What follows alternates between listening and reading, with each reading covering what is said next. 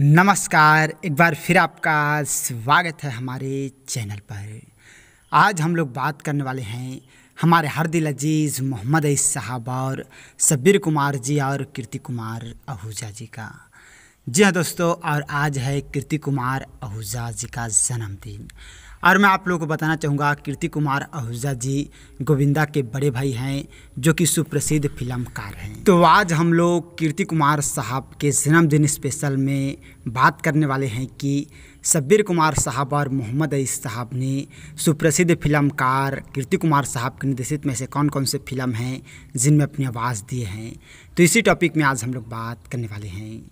तो चलिए दोस्तों, वीडियो स्टार्ट करते हैं। तो हमारे पहले नंबर पे हैं सब्बीर कुमार साहब। जी हाँ दोस्तों, मैं आप लोग को बताना चाहूँगा, सब्बीर कुमार साहब ने कीर्ति कुमार साहब के निर्देशित फ़िल्म में भी अपनी आवाज़ दिए हैं। सन उन्नीस में आई फ़िल्म राधा का संगम, और इस फ़िल्म में गीत था जो काफ़ी ज़्यादा लोकप्रिय हुआ था। गीत के बोल हैं, ओ राधा, तेरे बिना तेरा श्याम है। आधा जिसे बहुत अपनी खूबसूरत आवाज़ में शब्बीर कुमार साहब और स्वर को किला लता मंगेशकर जी ने अपनी आवाज़ दी और इस फ़िल्म का संगीत अनु मलिक साहब ने दिए हैं। और लिरिक्स हसरत जयपुरी साहब ने दिया था। और ख़ास बात यह है कि कीर्ति कुमार साहब के छोटे भाई गोविंदा जी इस फ़िल्म में लीड रोल पे थे और ये फ़िल्म काफ़ी ज़्यादा लोकप्रिय हुआ और इसके साथ ही ये गीत भी काफ़ी ज़्यादा पसंद किया गया। और दोस्तों, मैं आप लोग को बताना चाहूँगा शब्बीर कुमार साहब ने, कीर्ति कुमार साहब की निर्देशित फ़िल्म में बस एक ही फ़िल्म है, राधा का संगम, जिनमें अपनी आवाज़ दिए हैं। इसके साथ ही उन्नीस सौ सतासी की फ़िल्म मेरा लहू। इस फ़िल्म में गीत था, लहू का रंग एक है। ये वाला जो गीत था, वो गीत शब्बीर कुमार साहब ने, कीर्ति कुमार साहब के लिए गाए हैं और ये गीत भी काफ़ी ज़्यादा पॉपुलर हुआ था और इस फ़िल्म का संगीत भी अनु मलिक साहब ने दिए हैं और लिरिक्स सम्मी मलिक साहब ने दिए हैं।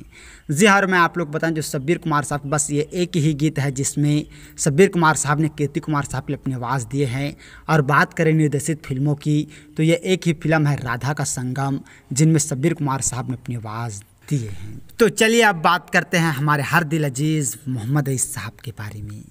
जी हाँ दोस्तों, मैं आप लोगों को बताना चाहूँगा मोहम्मद अईस साहब ने गोविंदा के बड़े भाई कीर्ति कुमार साहब की निर्देशित फ़िल्म में भी अपनी आवाज़ दिए थे। आप लोगों को उन्नीस सौ अट्ठासी की फ़िल्म हत्या तो याद ही होगा, जो बेहद ही ज़्यादा लोकप्रिय हुआ था। और इस फ़िल्म में गीत था, वो भी काफ़ी ज़्यादा लोकप्रिय हुआ था। गीत के बोल हैं, मैं प्यार का पुजारी, मुझे प्यार चाहिए, रब जैसा ही सुंदर मेरा यार चाहिए। जी हाँ ये गीत आप लोगों ने सुने ही होंगे, जो अस्सी के दशक में काफ़ी ज़्यादा लोकप्रिय हुआ। इतना ज़्यादा लोकप्रिय हुआ कि आज भी बहुत ही ज़्यादा इस गीत को सुना जाता है। और इस गीत को बहुत अपनी खूबसूरत आवाज़ में हमारे हर दिल अज़ीज़ मोहम्मद साहब और सपना मुखर्जी जी ने अपनी आवाज़ दी। और ख़ास बात यह है कि ये गीत हमारे हर दिल अज़ीज़ मोहम्मद साहब ने गोविंदा साहब के लिए गाया था, जो कि कीर्ति कुमार साहब के छोटे भाई हैं। और इस फ़िल्म का संगीत बप्पी लहरी साहब ने दिए हैं और लिरिक्स इंदिवर साहब ने दिया था। और दोस्तों, ये गीत आप लोगों ने सुने ही होंगे, बेहद ही ज़्यादा लोकप्रिय हुआ था और आज भी बहुत ही ज़्यादा सुना जाता है। और ये एक ही फ़िल्म है जिसमें हमारे हर दिल अज़ीज़ मोहम्मद अईस साहब ने कीर्ति कुमार साहब के निर्देशित में अपनी आवाज़ दिए थे। और वैसे देखा जाए तो एक्टर में तो मोहम्मद अईस साहब ने कीर्ति कुमार साहब के लिए अपनी आवाज़ नहीं दिए हैं, जो कि शब्बीर कुमार साहब ने दिए हैं। और बस ओनली निर्देशित में मोहम्मद अईस साहब ने अपनी आवाज़ दिए हैं, जिसे दर्शकों ने खूब पसंद किए और आज भी बहुत ही ज़्यादा पसंद कर रहे हैं। और आज है कीर्ति कुमार साहब का जन्मदिन तो हम लोग तरफ़ से सुप्रसिद्ध फिल्मकार कीर्ति कुमार साहब को जन्मदिन की बहुत बहुत बधाई।